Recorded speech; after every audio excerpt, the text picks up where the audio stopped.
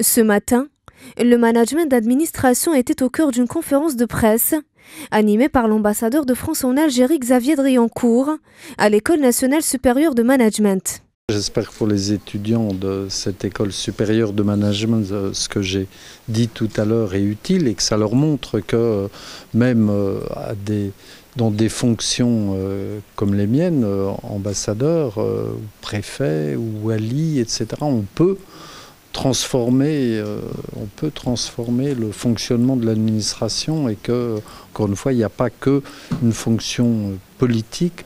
Pour les professeurs comme pour les étudiants présents, cette conférence ne peut être qu'enrichissante, d'autant plus qu'elle se base sur une expérience du vécu et qui est celle de Xavier Driancourt, qui a exposé les différentes expériences qu'il a connues lorsqu'il était au ministère des Affaires étrangères. L'ENSM donc euh, accueille un événement quand même euh, important, la, conférence de Monsieur l'ambassadeur de, France en Algérie, qui vient euh, qui vient partager avec nous certaines expériences en relative avec le avec le management, qui est bien sûr le, le, thème principal de, l'école.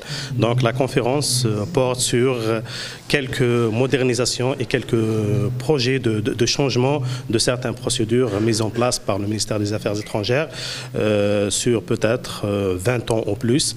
Donc l'ambassadeur de France nous a fait part euh, de ces expériences-là. Cette conférence est assez importante pour nous vu euh, qu'on sera confronté à être des futurs managers et des futurs entrepreneurs.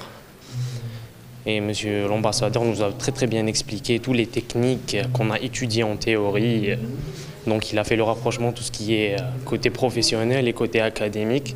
Ça va nous aider à nous développer, à développer nos compétences pour euh, une fois être sur le terrain, être euh, optimal. Une initiative qui a donc été saluée par tous les présents et qui ne demande qu'à être réitérée.